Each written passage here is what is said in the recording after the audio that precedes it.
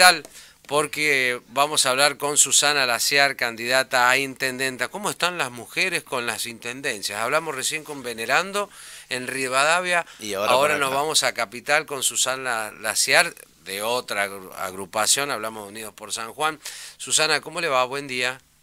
Hola, muy buen día, Mauricio, Mauricio. ¿Cómo andan? ¿Cómo están?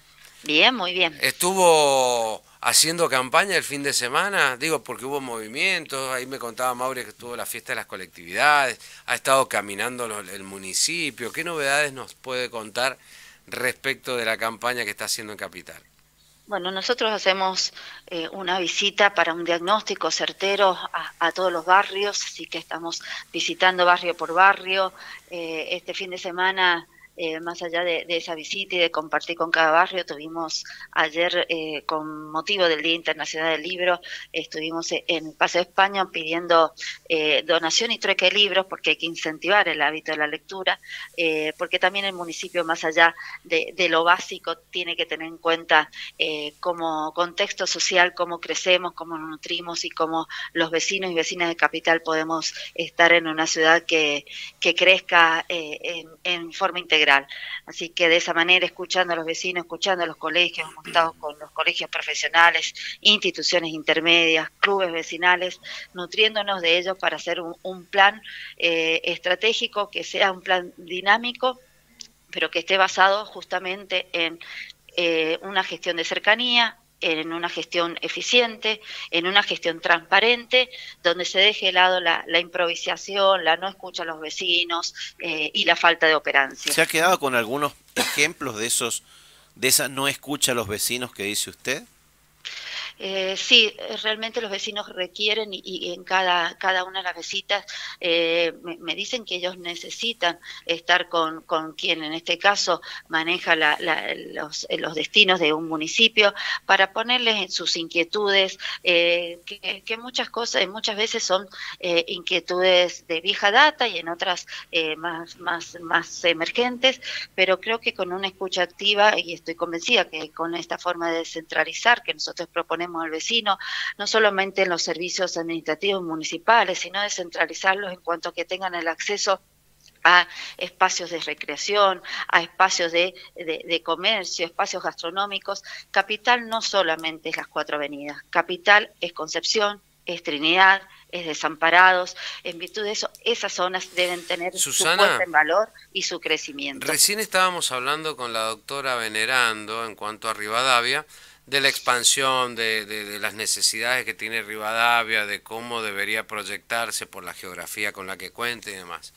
¿Cómo debería proyectarse capital en materia de infraestructura, donde pensamos en una capital que ha crecido exponencialmente en su historia y que se ve ahora cada vez más eh, acechada por el resto de los departamentos, como que ya no tenemos tanto lugar, hay que empezar a crecer para arriba. ¿Cómo, cómo lo, lo, lo proyectan ustedes? Como programa de gobierno municipal? Bueno, nosotros proyectamos una capital en donde esta descentralización pueda impactar en cada uno de estos, eh, de estos distritos que la componen eh, con una planificación ordenada de corto, mediano y largo plazo eh, que tenga en cuenta un, eje urbano, un eje ambiental, un eje social económico.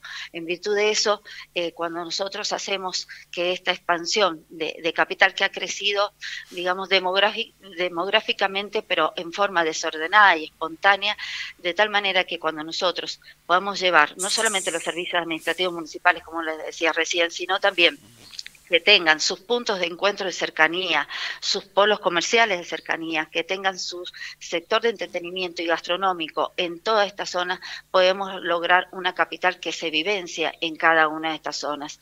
Y para eso es muy importante pensar y planificarla, no con la improvisación. Desde ya estamos pensando, por ejemplo, qué va a pasar cuando la ciudad judicial se eh, traslade hacia la zona de eh, donde está eh, pensado trasladarse en la zona zona frente a, libertad, sí, exactamente, al centro comercial. Entonces, ¿qué, ¿cómo va a impactar en esos vecinos?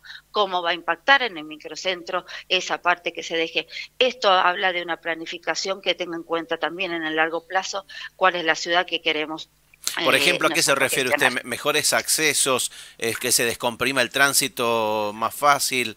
¿A eso se refiere cuando dice cómo va a ser cuando esté la ciudad judicial ahí? ¿A qué, a qué se refiere? Exactamente. Eh, ¿Por dónde pasarían los colectivos? todo, Accesibilidad para evitar que, por ejemplo, por la improvisación terminemos todos estacionando justamente en el centro comercial. Entonces, ver cómo va a ser el tema de la circulación. Eh, digo, la improvisación debe ser dejada de lado con una planificación y en eso, de la mano de los colegios profesionales, de las uniones vecinales, de la mano, por supuesto, de los especialistas, pero con tiempo, eh, no meses o, semanas antes de una elección, sino con tiempo planificado para que podamos prever todos, todos estos impactos y de esa manera crecer en forma ordenada.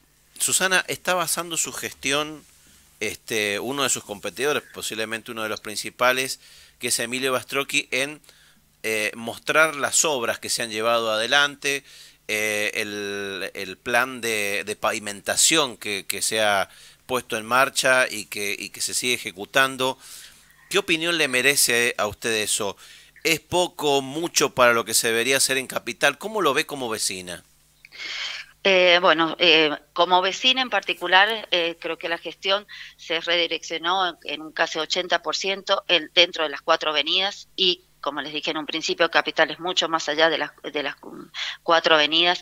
Por supuesto, cada vecino va a dar su, su, su opinión eh, el 14 de mayo, ¿no es cierto?, cuando tengamos que ir a las urnas. Eh, pero en lo particular, yo, y en esto diferencio, en una gestión de cercanía, los vecinos nos agradecen que estemos, que los escuchemos, que estemos presentes. Esta gestión no la tuvo la actual eh, el intendente, una gestión que sea eficiente, que sea que, que no tenga improvisación y sobre todo una gestión que comience el primer día de la gestión, no seis meses antes de una elección, y en eso está la diferencia. Eh, Susana, ¿qué va a hacer en el municipio? Me refiero a los empleados, ¿qué va, me refiero al funcionamiento institucional del municipio.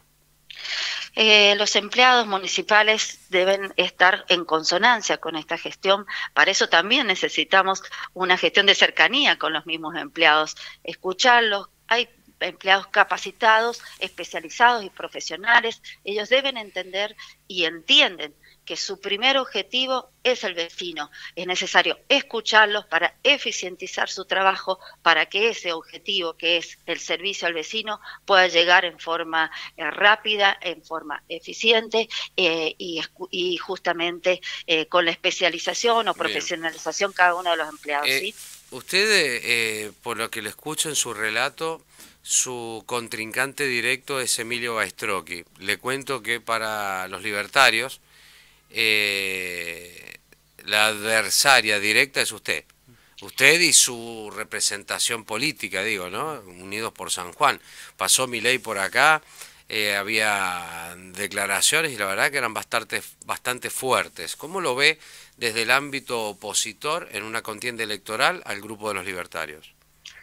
Con todo el respeto que me merecen todas las fuerzas políticas en este año que cumplimos 40 años de democracia, la verdad que no hemos centrado más allá eh, de, lo, de lo que ellos digan sobre nosotros, en lo que nosotros tenemos que escuchar de los vecinos. Entonces, nuestra concentración está en eso, en nuestro programa de gobierno que se va nutriendo, que es dinámico, eh, que donde los tanto eh, las entidades intermedias como cada uno eh, de, los protagonistas nos, nos, nos, van relatando. Así que eh, nuestro foco y nuestra mirada, Mauricio, está puesta en la ciudad y, en esta ciudad que debe crecer de la mano de cada vecino. Doctora Laciar, muchas gracias por estas palabras, por estos minutos. Que tenga un gran éxito en la campaña y gran día para usted. Buena semana. Adiós. Que tengan buena semana. Hasta Adiós, Hasta luego.